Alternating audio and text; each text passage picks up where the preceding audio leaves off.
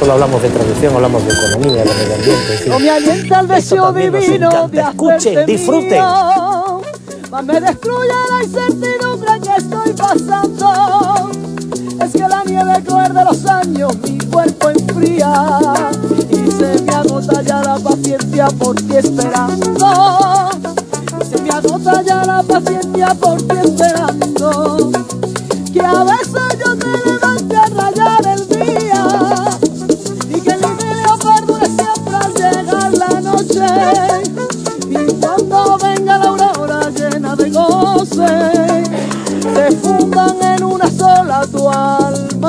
mía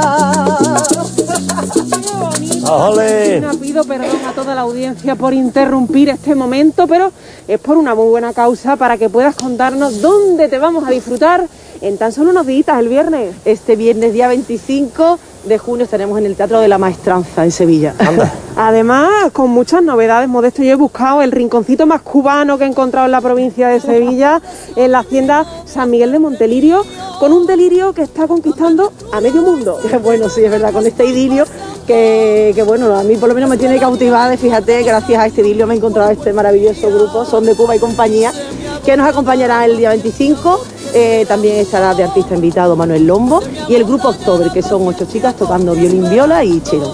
Esto está enclavado en el flamenco, flamenco, flamenco, pero con sones que a mí me suenan a novedad, me encanta. Bueno, el, el título del espectáculo se llama La vida del artista, entonces es un poco homenaje a toda- todas las disciplinas artísticas que existen, pero es verdad que, que en este caso pues no va a haber solamente flamenco, que voy a estar con todos mis músicos habituales de flamenco, sino que va a haber también otro, otro género, ¿no? que tocaré otro género. ¿no?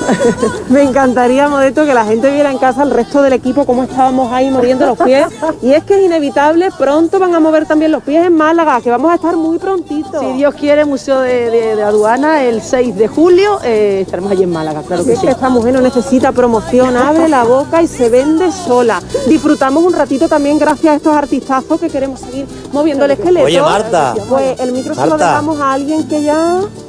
Bueno, Modesto creo que tiene una última pregunta. Cuéntame, a ver. Que bien suena, su- dile primero que qué bien suena su voz cuando coge el micrófono Andalucía Directo y después quiero que me enseñes los zapatos de tacón que se ha puesto para este momento importante del programa. A ver, tengo dos cositas para ti. La primera, que le encanta cómo suena tu voz cuando coges el micrófono de Andalucía Directo. Muchas gracias. Pero solo ya- para cantar, es modesto, para hablar no. que ya es más suyo que nuestro. Y segundo, una petición. Quiere ver los taconazos con los que hoy no los taconazos que llevo. Ahí está ella. Hoy no hay taconazo modesto. La verdad es que hoy había, hemos quedado para ensayar, para dejarlo todo preparado para el día 25, entonces hoy he venido cómoda. comodidad Está todo. sí, a disfrutar, claro. que queremos seguir moviendo el esqueleto. Todo tuyo. Bueno, pues el viernes Siempre que quieras. en el Maestranza. Que a veces yo te y el 6 de julio en Málaga. día y que el idilio perdure siempre al llegar la noche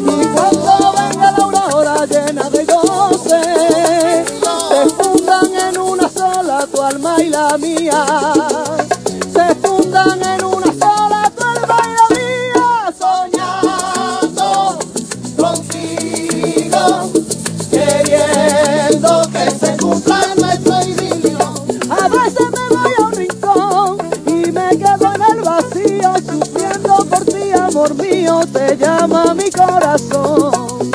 Soñando contigo, queriendo que se cumpla nuestro idilio. Ah, yo esperaría mil años si fuera tu condición, pero el tiempo va volando, ven y calma mi pasión. Soñando. Bueno, nos quedaríamos escuchándola toda la tarde, ¿eh?